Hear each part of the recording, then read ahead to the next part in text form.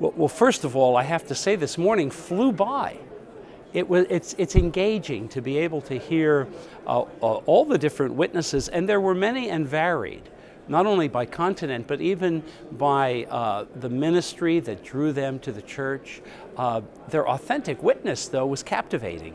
And uh, there's nothing like real life stories. And it, it's, I think, important. And in fact, I think what I'm seeing now is the, the rhythm of this synod is very much uh, helped by the active witness of lay people and of families. Uh, I wasn't sure I'd be prepared for the small group so quickly, but uh, I'm ready to go. I think the first thing I would say is there's a great wisdom to what Pope uh, Francis has done in asking for a double synod. It, uh, not only will it allow for reflection in between and consultation in between the two synods, but it also allows those of us who are delegates and may well be delegates for the next synod uh, to have a chance to allow that listening to touch our hearts. Uh, we all know that, that, uh, that, the doctrine of our church is something ha handed on that, that we continue to hand on. There's no question about that.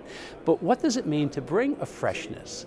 And uh, how sad it would be if we tried to come up with some new language or new directions in a, in a way that did not include hearing and listening uh, to the faithful, but also to one another.